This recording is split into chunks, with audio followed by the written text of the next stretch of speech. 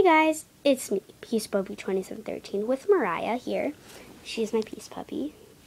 And the reason I'm using her for this video is because I'm starting to trade and buying Peace Puppies from people. So comment down below if you have a Peace Puppy for buy or trade.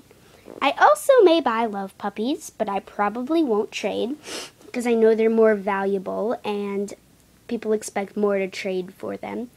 I would prefer buying them, just I would not go over the price of 50.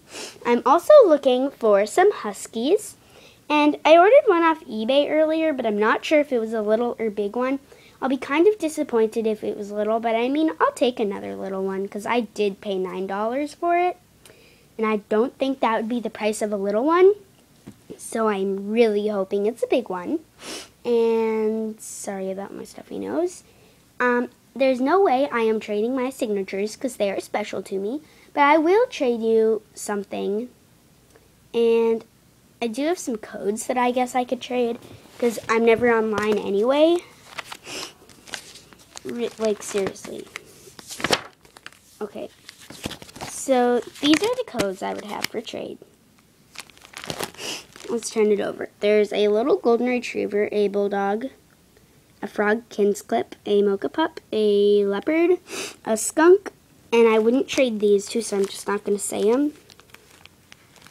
Um, the butterscotch retriever, and I'm not going to trade these two either. Actually, I might trade this one, but I don't know. There's a cocker spaniel. There is a, what does that say, velvety elephant. Um, there is a tree frog, an iguana, and a black and white cat, and that will be a little one, once again. And like I said, I've always wanted the Peace Puppy.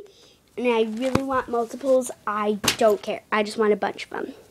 So this is my video for today. Thanks for watching. Please subscribe. Bye! Okay, that was just terrifying.